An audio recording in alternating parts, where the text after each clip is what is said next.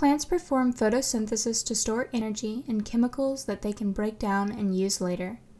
Photosynthesis directly synthesizes two important chemicals, NADPH and ATP, which are used in processes throughout organisms. Photons from the sun or another light source interact with specific molecular complexes found in plant cells.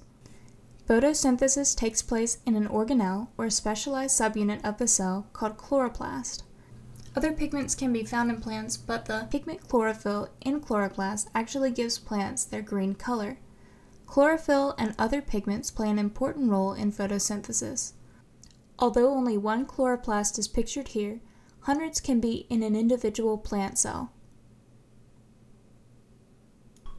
Chloroplasts have membrane-bound compartments in them known as thylakoids. In the membranes of the thylakoid, we can find the structures that start the processes of photosynthesis. The pigments in plants are used to absorb photons. These are a part of pigment protein complexes, also called light harvesting complexes. Light harvesting complexes are abundant in the thylakoid membrane. They are able to deliver excitation energy from photons to other light harvesting complexes. These chain together and eventually deliver energy to specialized pigment protein complexes with reaction centers. Photosystem II contains light harvesting complexes and a reaction center. When other light harvesting complexes transfer energy to photosystem II, it is able to perform chemical reactions that prepare a molecule to carry electrons for the next step of photosynthesis. The electron carrier that photosystem II works on is plastoquinone. Photosystem II is connected to a water oxidizing complex. The water oxidizing complex splits water molecules into oxygen, protons, and electrons. The oxygen atom binds to another oxygen atom from a previous water splitting. These eventually exit the thylakoid. Two protons are taken from outside of the thylakoid to use in photosystem II's electron transfer. Using the light energy it received from the light harvesting complexes, photosystem II adds two electrons and two protons to plastoquinone, which it turns into plastoquinol. Plastoquinol is then released from photosystem II and allowed to move freely in the thylakoid membrane. The electrons that resulted from water splitting are then used to replenish the electrons from the reaction center. The protons are sent into the liquid of the thylakoid. Cytochrome B6F takes the electrons and protons from plastoquinol, converting it back to plastoquinone. The protons from this are released into the thylakoid, and plastoquinone is released into the membrane. Cytochrome B6F adds the two electrons onto another electron carrier called plastocyanin. This electron carrier operates in the liquid inside of the thylakoid. When the electrons are added to plastocyanin, Two more protons pass into the liquid inside of the thylakoid. Plastocyanin is used to transfer electrons to photosystem 1.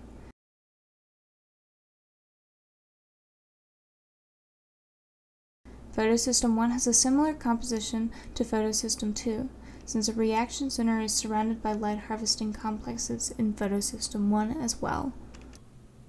Photosystem 1 is also excited using light energy from light harvesting complexes.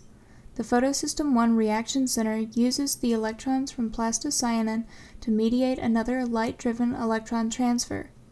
Photosystem 1 takes the electrons from plastocyanin and plastocyanin is allowed to go back into the liquid inside the thylakoid.